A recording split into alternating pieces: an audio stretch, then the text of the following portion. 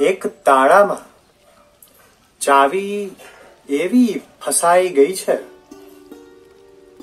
એક તાળામાં ચાવી એવી ફસાઈ ગઈ છે.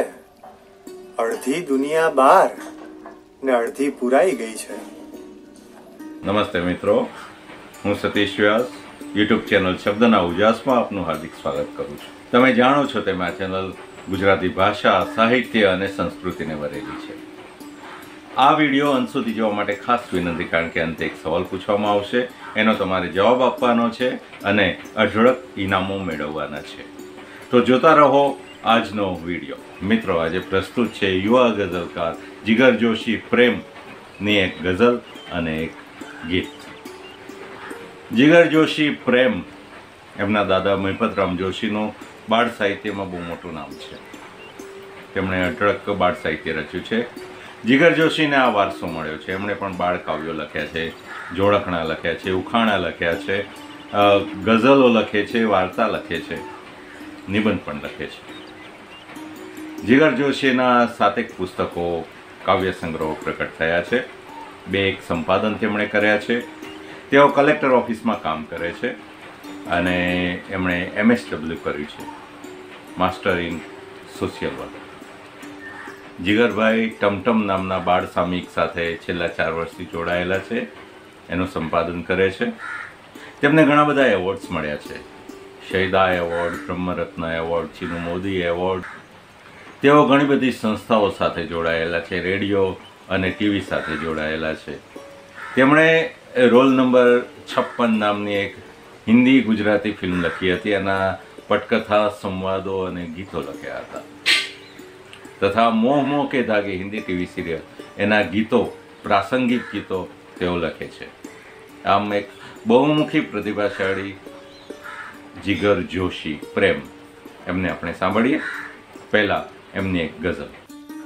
એક તાળામાં ચાવી એવી ફસાઈ ગઈ છે.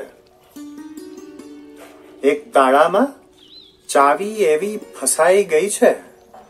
અડધી દુનિયા બહાર ને અડધી પુરાઈ ગઈ છે. એક તાળામાં ચાવી એવી ફસાઈ ગઈ છે. અડધી દુનિયા બહાર ને અડધી પુરાઈ ગઈ છે.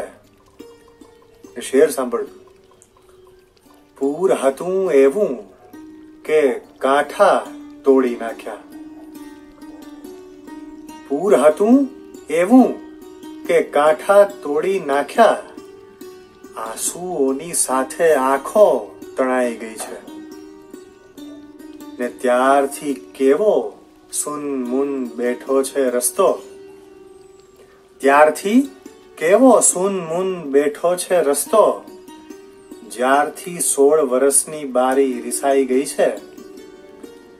ને સર્વર પરથી એવી રીતે તાગ મળે નહીં. સર્વર પરથી એવી રીતે તાગ મળે નહીં. લીલ સ્મરણની જળના તળિયે છુપાઈ ગઈ છે. ને હાથ જોઉં તો નવું નવું કાં લાગે સઘળું? હાથ જોઉં તો નવું નવું કાં લાગે સઘળું? હથેળીઓમાં કોની રેખા સમાઈ ગઈ છે?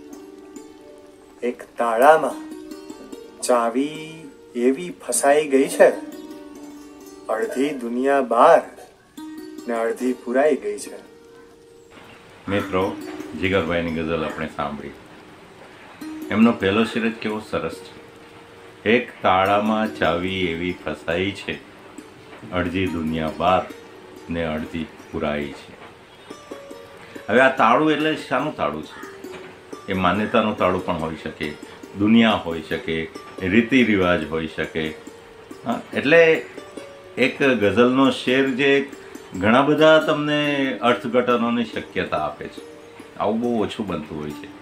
ગઝલ મોટાભાગે અભિધાના સ્તરે ચાલતી હોય છે. જ્યારે આ પહેલો શેર જ તમને વ્યંજનાના સ્તરે મૂકી આપે છે. અને આ જીગરની ખાસિયત છે. મિત્રો, મધુસૂદન પટેલના બે શેર યાદ આવે છે. તેઓ લખે છે કે છે બહુ ઓછો સમય તો દુશ્મનોને માફ કર. છે બહુ ઓછો સમય તો દુશ્મનોને માફ કર. દિલને ગમતા હોય એવા માણસોની વાત કર. બાગ ટવકા બાંકડા, ઠંડી હવાને સાંજ છે ચો તરફ આમંત્રણો છે, તું નજર તો બહાર કર.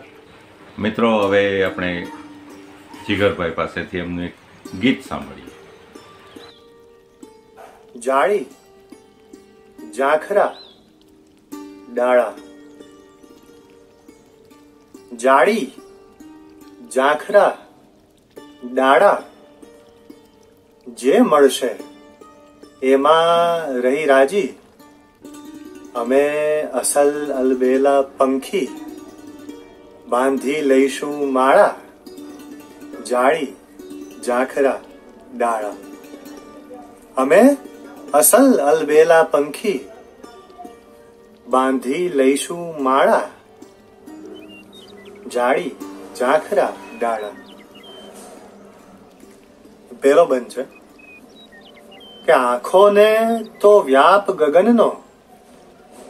ગળથું થીમાં પાયો. આંખોને તો વ્યાપ ગગનનો. ગળથું થીમાં પાયો. ઉડવું તો એવી રીતે કે જડે નહીં પડછાયો ક્યાં ક્યાં વેર્યા ટવકાઓજી ક્યાં ફેલાવી પાખો? એના શું કરવા સરવાળા? જાળી, ઝાખરા ડાળા જે મળશે, એમાં રહી રાજી. અમે અસલ અલબેલા પંખી. બાંધી લઈશું માળા. જાળી, ઝાંખરા, ડાળા.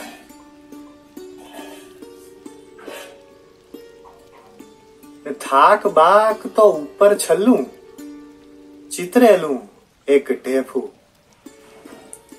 થાક બાક તો ઉપર છલ્લું, ચિતરેલું એક ઢેફું. ક્યાંય કદી જોયું છે?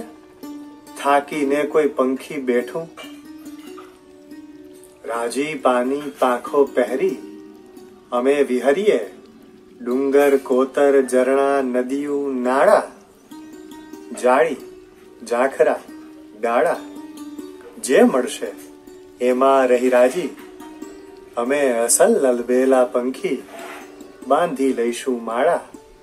જાળી ઝાખરા ડાળા. આ ગીત સાંભળીને શૂન્ય પાલનપુરીનો એક શેર યાદ આવી ગયો. શૂન્યભાઈ એટલે ખુમારીના કવિ અને આ ગીતમાં પણ એવી જ એક ખુમારી છે, પોતાની જાતે પોતાને ફાવે તેમ જીવી જવાની. તો શૂન્યભાઈ કહે છે કે, જીવનમાં કોઈ દશાને ખરાબ નહીં કહો. કમળને પંખના સૌંદર્યનો જવાબ કહો. ભલે ને હોય એ ટમટમતું કોળિયું નાનું ભલે ને હોય. એ ટમટમતું કોળિયું નાનું કરે જહાને રોશન, તો આફતાબ કહો. કરે જહાને રોશન, તો આફતાબ કહો. તો મિત્રો, હવે આજનો સવાલ. મેં હમણાં જ એક કવિનું નામ દીધું. એ કવિએ રૂબાઈયાતોનો અનુવાદ કર્યો છે. એ રૂબાઈયાતો વિશ્વવિખ્યાત કવિએ લખેલી છે. તો એ મૂળ કવિનું નામ તમારે મને જણાવવાનું છે. તમારે જવાબ વોટ્સએપમાં મોકલવાનો છે. તમારે કોમેન્ટમાં જણાવવાનું છે કે તમે જવાબ મોકલાવ્યો છે. વીસ જવાબ આવશે તો જ ઇનામ આપવામાં આવશે અને સાચા વધારે નામ હશે તો ડ્રો કરવામાં આવશે. દરેક વીડિયો દીઠ એક ઇનામ આપણે આપવાના છીએ અને આ ઇનામો શુભમ પ્રકાશને સ્પોન્સર કર્યા છે. મિત્રો, મને ખાતરી છે કે આજનો વીડિયો તમને ગમ્યો હશે એક યુવા ગઝલકાર પોતાનો નવો અવાજ લઈને આવતો હોય છે, નવી કલ્પનાઓ લઈને આવતો હોય છે, નવી ઇમેજીસ લઈને આવતો હોય છે. અને તમને તાજા કલ્પનો, તાજા ઇમેજરી સાથેની કવિતાઓ સાંભળવા મળે છે. એટલે આ વીડિયો તમને ગમ્યો હશે તો લાઈક કરજો કોમેન્ટ કરજો તમને જણાવો કે તમને શું ગમ્યું, શું ન ગમ્યું, કેવું સાંભળવું છે, કેવું જોઈએ છે તમને. તો કોમેન્ટ કરો લાઈક કરો શેર કરો, બધાને વહેંચો તમે. અને હા સબસ્ક્રાઈબ તો ખાસ કરજો. કારણ કે તમે સબસ્ક્રાઈબ કરશો તો હું આ ચેનલ ચાલુ રાખી શકીશ.